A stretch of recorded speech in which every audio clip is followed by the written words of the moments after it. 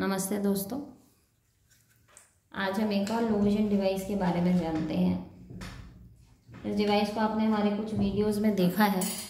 पर आज मैं आपको इसका एक डेमो दिखाना चाहती हूँ कि आप इसको खुद कैसे यूज़ कर सकते हैं।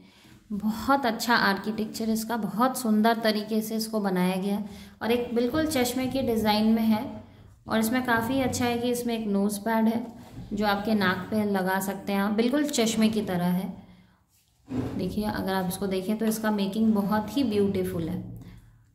कितना अच्छे तरीके से आप इसमें लाइट को एडजस्ट कर सकते हैं। ये जो लाइट यहाँ पे लगी हुई है, देख सकते हैं, ये ऑन ऑफ़ का स्विच है। अभी इसमें बैटरी नहीं डाली हुई है। पेशेंट चाहे तो अपने रिक्वायरमेंट के हिसाब से इस लाइट के पोजीशन को एडजस्ट कर सकता है। ये उसके पास एक फ्लेक्सिबिलिटी रहती है। दूसरी, यहाँ पे एक अटैचमेंट है जिसमें आप लेंसेज लगा पाएँगे। अलग अलग तरीके के जो लेंस हम आपको देंगे वो लेंसेज को आप लगा पाएँगे। आपके पास एक फैसिलिटी है कि आप अपने नोज़ पैड को एडजस्ट कर सकते हैं।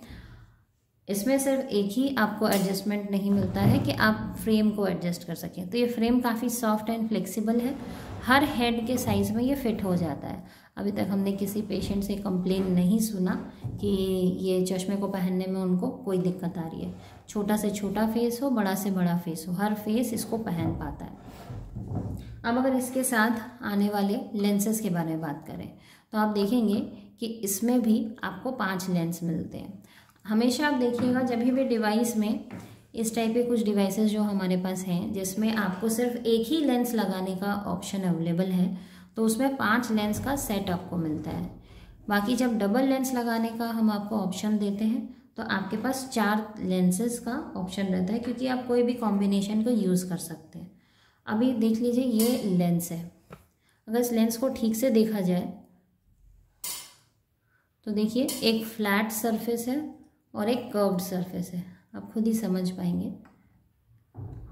देखिए, ये फ्लैट हिस्सा है और ये कर्व्ड है। तो जो कर्व्ड हिस्सा है, वो हमेशा बाहर की तरफ़ होता है और फ्लैट हिस्सा अंदर की तरफ़। ये आपने पुश किया और लेंस फिट अब पेशेंट अपने रिक्वायरमेंट के हिसाब से पोजीशन इसकी भी एडजस्ट कर सकता है, आप देखिए। ये जो पोजीशन है इसकी, इसको भी पेशेंट अपने रिक्वायरमेंट के हिसाब से एडजस्ट कर सकता है। मान लीजिए उसको दूर में लिखा हुआ एक प्रेजेंटेशन पढ़ना है, उसने ग्लास को अप किया तो ये अप गेज से, ऊपर के अप गेज से वो दूर में लिखे हुए, ऊपर लिखे हुए चीज़ों को पढ़ सकता है। अब ये नॉर्मल अपना कंप्यूटर डिस्टेंस को अगर वो पढ़ना चाहता है तो ऐसे पढ़ सकता है।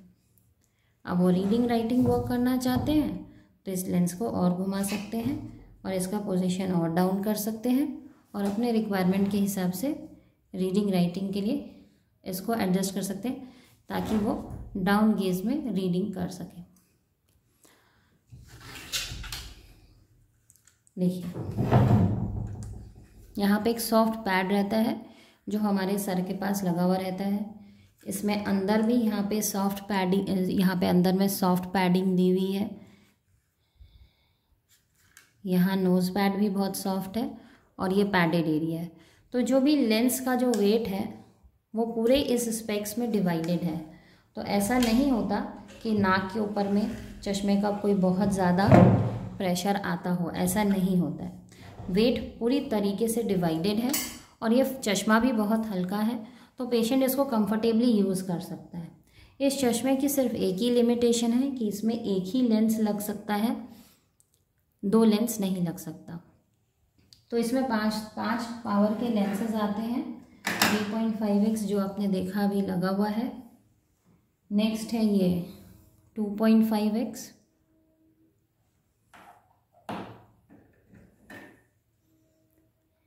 ये है two x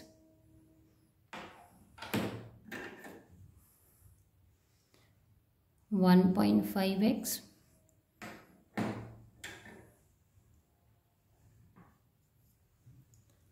और ये वन एक्स तो इन पाँच लेंस के कॉम्बिनेशन से ये चश्मा बना है। उम्मीद है आपकी इस डिवाइस से रिलेटेड जो भी क्वेरी थी, वो हमने शॉर्ट आउट किया। इसके अलावा भी आपकी कोई क्वेरी है तो हमें कमेंट बॉक्स में ज़रूर लिखें और हमसे जहाँ तक हो पाएगा, हम आपकी हेल्प करेंगे। धन्यवाद।